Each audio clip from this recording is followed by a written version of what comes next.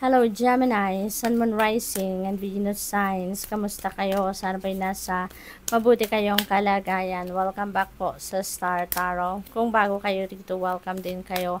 Thank you sa inyong support. I truly appreciate it. God bless you all. Gemini, pauna mensahe po ninyo ay rest and rejuvenate. Gemini, you must be tired, you must be exhausted, kaya iniimbitahan kayo dito na mag-rest kayo. It's about time to rest, to rejuvenate, to recuperate. Kailangan ninyo yan. And this person, no, parang he's grounding himself. He's uh, doing meditation. Maaring yan ang sinasuggest sa inyo ng universe din sa ngayon.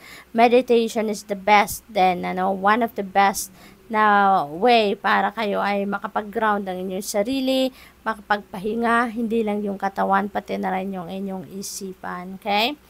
Kailangan niyang balanse, di ba, Gemini? Hindi lang puro trabaho, hindi puro obligasyon, responsibilidad, or socialization, but you also have to incorporate in your priorities yung pagsa-self-care, okay?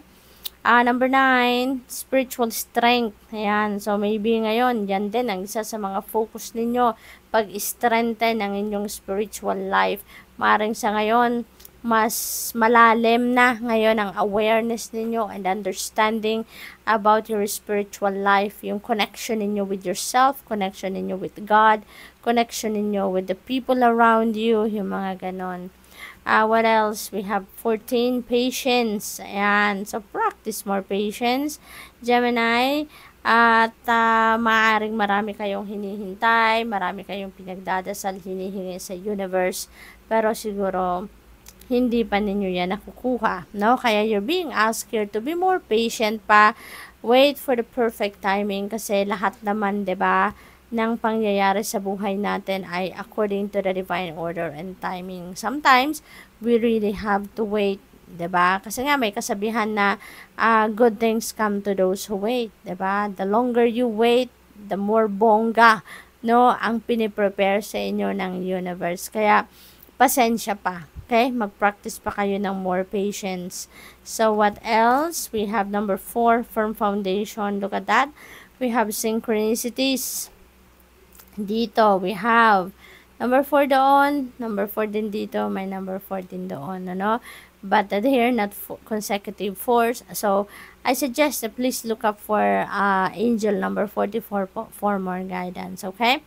Firm foundation, maaring yan ngayon ang kailangan ninyong pagtrabahuan or to focus on, no, is to lay a solid foundation on the major areas of life, katulad na lamang siguro ng uh, financial security and stability, financial future, maaaring isi-secure din ninyo ngayon ang inyong trabaho, uh, source of your finances, maaaring ganon, or family and relationships. Siguro nandoon along those lines ang kailangan ninyong pagsikapan, pagtrabahuan sa ngayon for you to be able to ano to lay a solid foundation on those areas. Okay? So, tignan natin kung ano pa ang ganap dito for Gemini.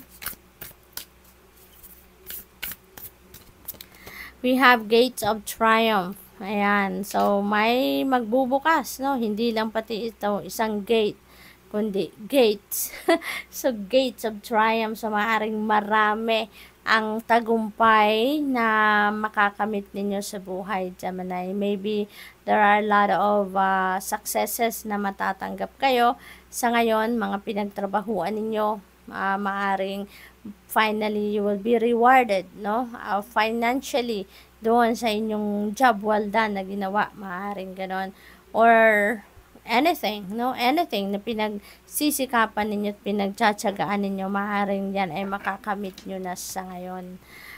What else? We have grace and gratitude. Ayan. So, maraming blessings talaga siguro ang paparating sa inyo. No? Kaya magiging masayang masaya din kayo because uh, siguro may mga dreams or wishes kayo na magka-come to fruition na. Kaya iba yung saya, no? Ang mararamdaman ninyo dahil din sa pag uh, pag uh, pasok ng mga biyayang ito para sa iyo.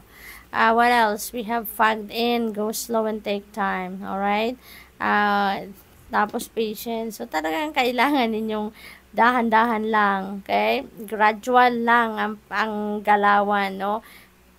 Hindi pwedeng magmadali dito. You don't need to rush kasi nga, uh, parang, ano to, yung parang iniimbitahan kayo dito na take it slow, okay? Take your time, take it slow.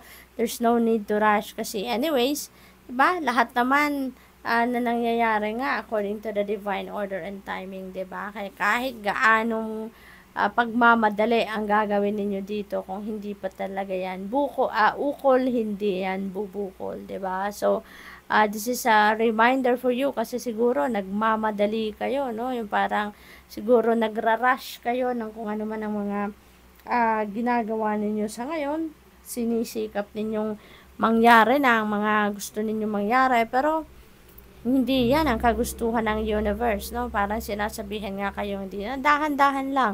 Pasasaan ba at mararating mo din yan. Uh, we have breaking trail. A breakthrough is at hand, which is really good. Kasi, meron na kayong mga problema sa ngayon, pinagdadaanan, may mga challenging situations man kayo na nararanasan sa ngayon. Huwag kang mag-alala. Diba? Breakthrough is at hand and you will find the way out dyan sa mga difficult situations na yan or obstacles, no? Malalagpasan mo din kung ano ang mga problema. Uh, what else? We have ask for help. Ayan. Kung kailangan ninyo ng tulong ng iba, don't hesitate to reach out to people and ask for help. Kasi always remember that help is always available to us, no?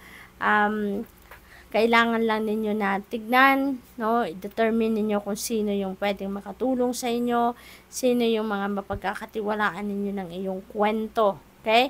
Yun ang lapitan ninyo. Right? But never, never think na mag-isa lang kayo. Kung kailangan ninyo ng tulong, there will always be someone na willing tumulong sa'yo.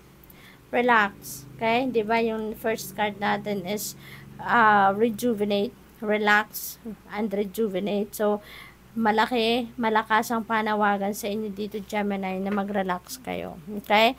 Give yourself time to relax, to rejuvenate and recuperate and recharge. Mag-reset kayo ng sarili ninyo kasi baka super ano na kayo, exhausted, burnout, drained na, kumbaga, no? Kaya kailangan ninyo na magpahinga din. You need time to relax, okay? You need time for self-care, okay? What else? We have invite peace. Ayan. By relaxation, you can invite peace, no?